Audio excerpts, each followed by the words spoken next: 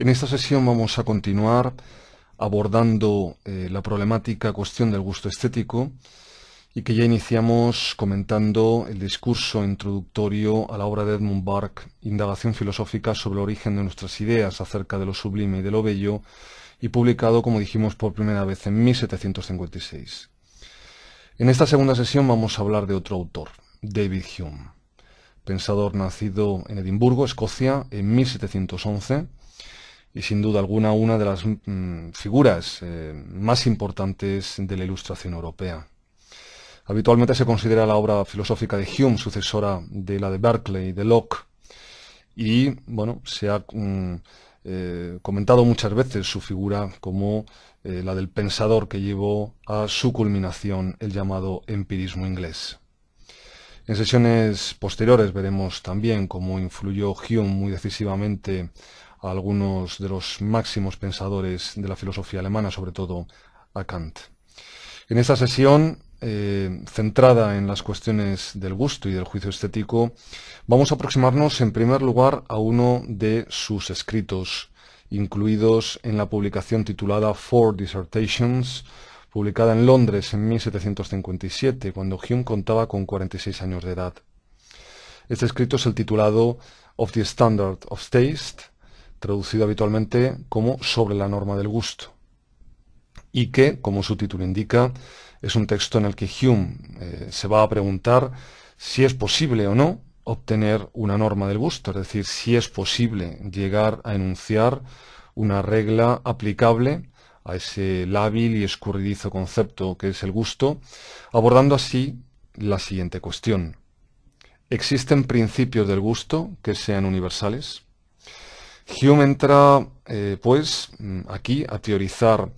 sobre el gusto, campo que contaba ya por entonces y como ya comenté en la presentación dedicada a Bark, con un nutrido número de ensayos, entre los que destacaría el titulado Razón del Gusto, del español Benito Jerónimo Feijó, incluido en el volumen sexto de su Teatro Crítico Universal, publicado en 1734, o entre otros el texto de Voltaire, titulado El Templo del Gusto, de 1733. Regresando al texto de Hume, vemos que ya en las primeras páginas nos avisa de que existe una concepción filosófica que elimina, dice, todas las esperanzas de éxito en tal intento y representa la imposibilidad de obtener nunca una norma de gusto.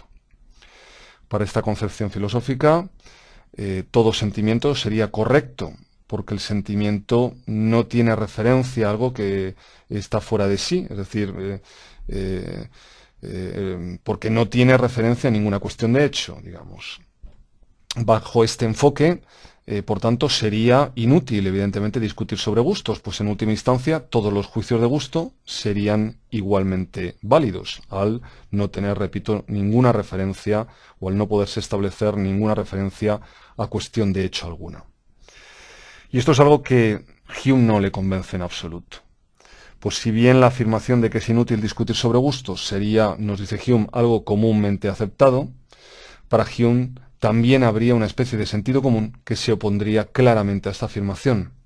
Y para defender este punto, Hume propone algunos ejemplos, comparando entre sí la obra de algunos literatos.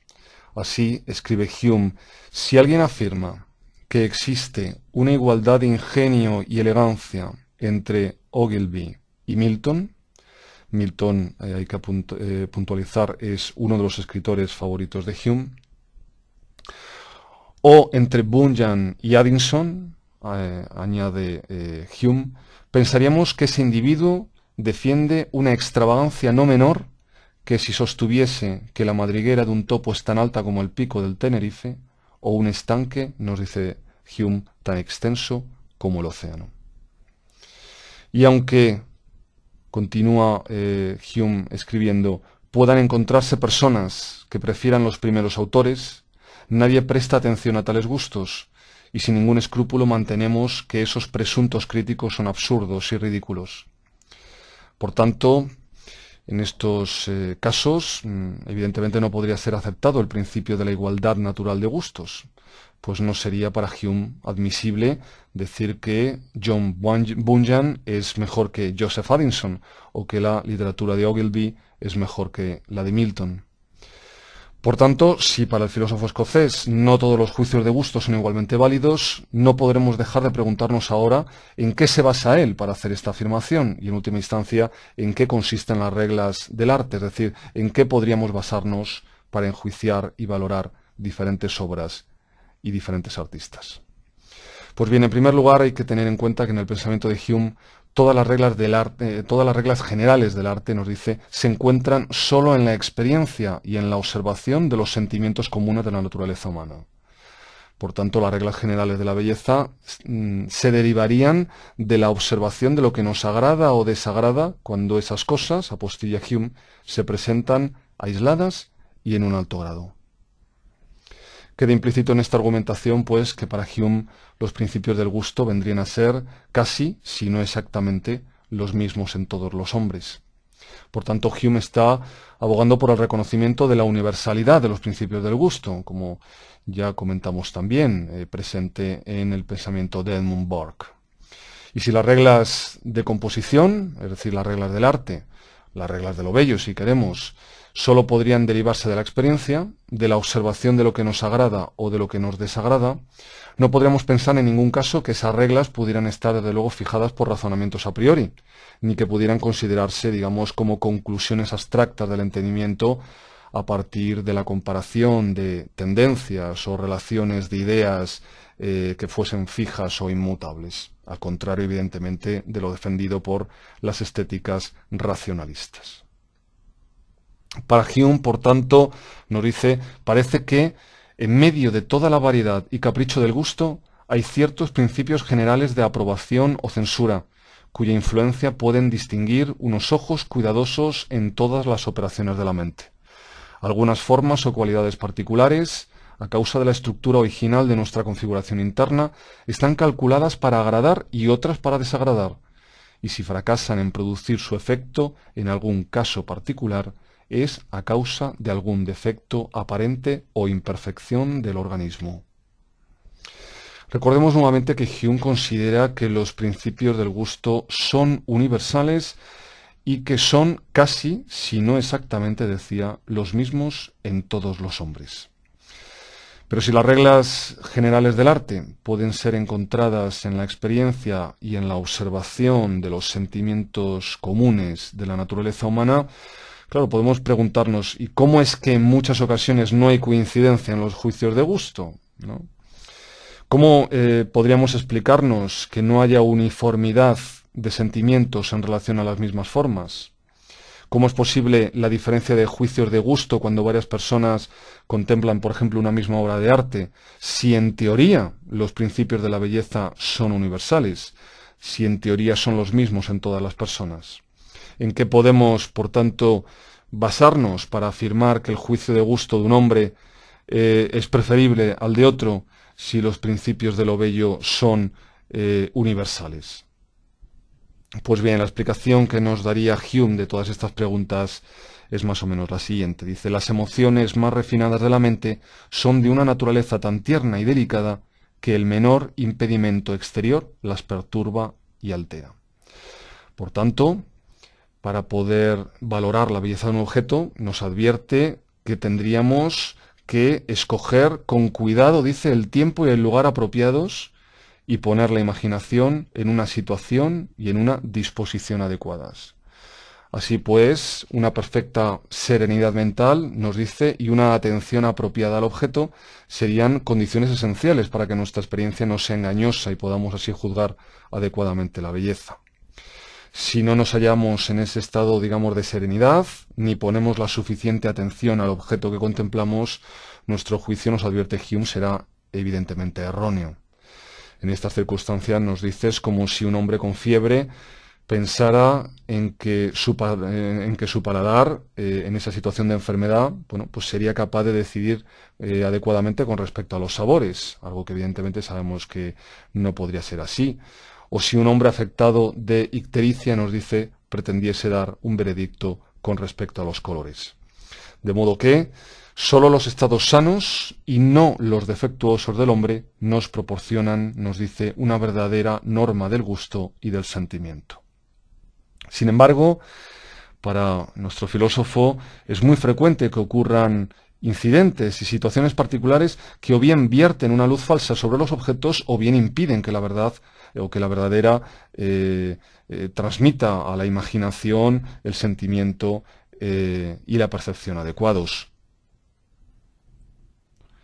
Y entre las más importantes causas de que muchas personas no consigan el sentimiento apropiado de la belleza se hallaría para Hume lo que él denomina la falta de delicadeza de la imaginación. Ya hemos señalado que mm, en este texto eh, admite Hume que hay ciertas cualidades eh, en los objetos que por naturaleza son apropiadas, decía él, para producir los sentimientos de la belleza y la deformidad. Esto es algo que ya vimos también afirmado por Addison en 1712. Sin embargo, y puesto que estas eh, cualidades pueden encontrarse en pequeño grado, y pueden estar mezcladas y confundidas entre sí, puede que el gusto, nos dice, eh, nos dice Hume, no llegue a verse afectado por esas cualidades tan pequeñas o no sea capaz de distinguirlas. De ahí la importancia, nos dice, de la delicadeza del gusto,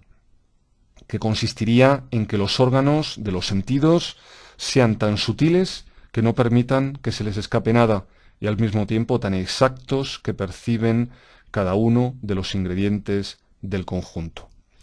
y sólo en el caso de que exista en el sujeto esa delicadeza y que, como decía antes, el observador se halle en un estado de perfecta serenidad mental y dedique la atención apropiada al objeto que contempla, sólo entonces, insistirá Hume, serían aplicables las reglas generales de la belleza.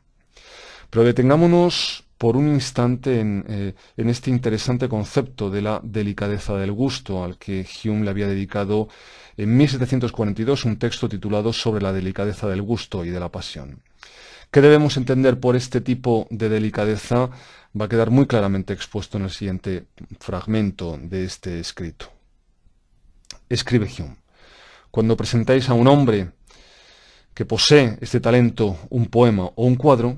la delicadeza de sus sentimientos le hace que se vea afectado sensiblemente por cada una de sus partes, y el exquisito goce y satisfacción con que percibe sus rasgos magistrales no son mayores que el disgusto y desazón con que percibe los descuidos y disparates. Es decir, que la delicadeza del gusto nos sensibilizaría a lo que realmente conforma las obras de arte, proporcionándonos, en opinión de Hume, gran goce, gran satisfacción en la percepción de sus rasgos magistrales, pero también engrandeciendo, como veíamos, nuestro disgusto al ser capaces de percibir aquellos errores, aquellos descuidos, aquellas incoherencias en las obras que personas carentes de esa delicadeza del gusto, en opinión de Hume, no serían capaces de apreciar. A este respecto, mm, cabe que insistamos en la importancia que Hume dio a la dimensión estética en el camino hacia la, hacia la, eh, hacia la perfección del hombre, anticipando, desde luego, muchas de las consideraciones en las que, sobre todo en la estética alemana, insistirá años más tarde. Así escribe Hume, la perfección del hombre y la perfección del sentido o del sentimiento se encuentran unidas. Desde luego en su texto sobre la, sobre la delicadeza del gusto y de la pasión vemos a, diré yo, un Hume convencido de que cultivar el gozo de las artes liberales nos permite formarnos nociones más exactas de la vida y que entonces muchas cosas, dice, que complacen o afligen a otros, nos parecerán demasiado frívolas para merecer nuestra atención. Es también pertinente recordar que el cultivo del goce de las artes liberales, el fomento de nuestra delicadeza de gusto, ayuda también a ir poco a poco perdiendo lo que él denomina delicadeza de pasión, esa que nos haría extremadamente sensibles a todos los accidentes de la vida, esa delicadeza que nos generaría y nos genera, de hecho, un penetrante dolor cuando nos encontramos con desgracias y adversidades y que para Hume tan incómoda resulta.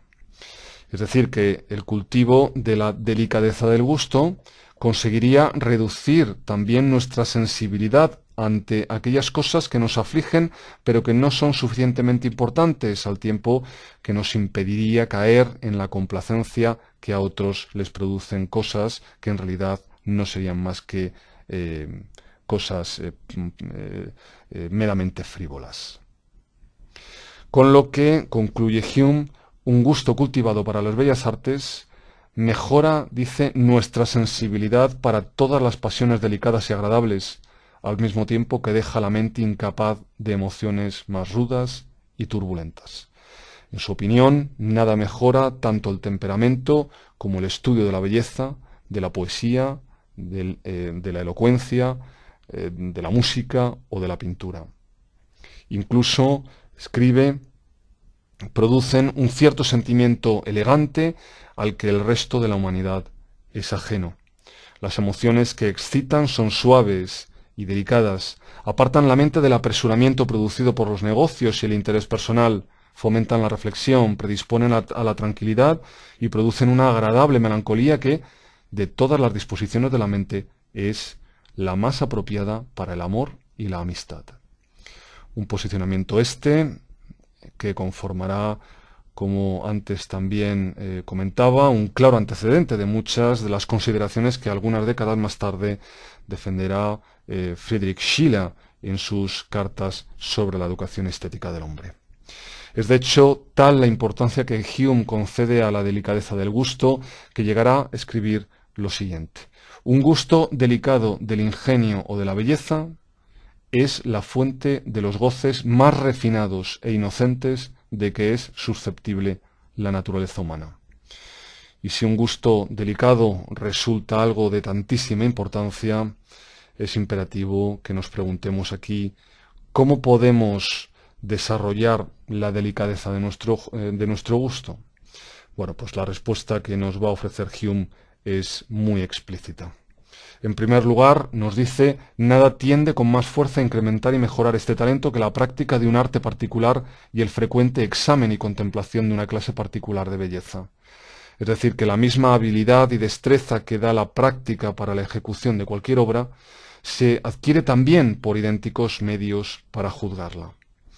Así, pues, si adquirimos experiencia en el trato y juicio de las obras de arte, nuestros sentimientos se volverán, nos dice Hume, más exactos y más adecuados.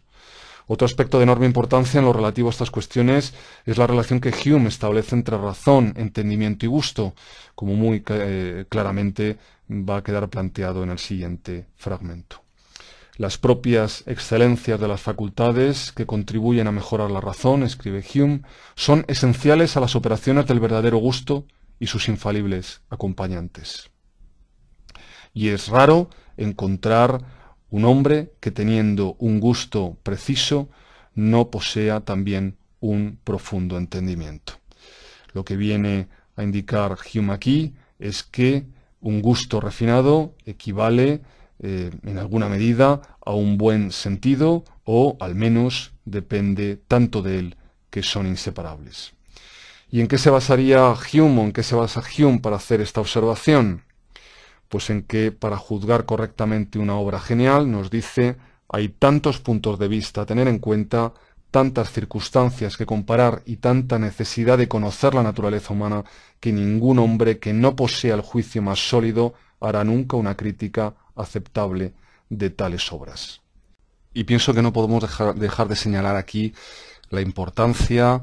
eh, de esta conexión entre entendimiento y gusto,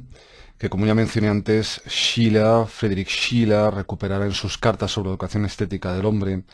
y para quien, casi sin excepción, escribirá Schiller, a un gusto cultivado van unidos entendimiento claro, un sentimiento vivaz, una conducta liberal incluso digna, y a un gusto inculto generalmente lo contrario.